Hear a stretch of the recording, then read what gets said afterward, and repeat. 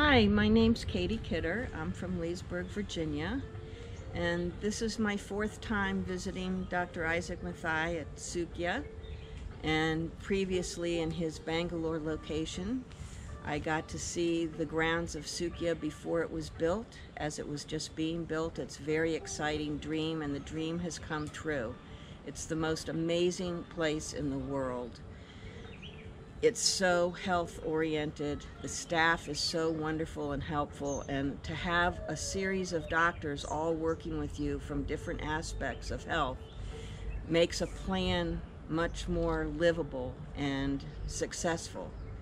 So I've been struggling for six years with different symptoms and um, one of which is like a burping problem that I've been having and I did five days of a ghee and herbal complex here and the burping is all gone.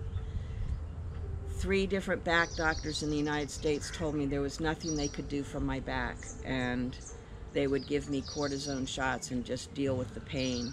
And I'm on my, I'm here, I'm, I've been here for 28 days and I'm on my fifth day of my back not hurting at all.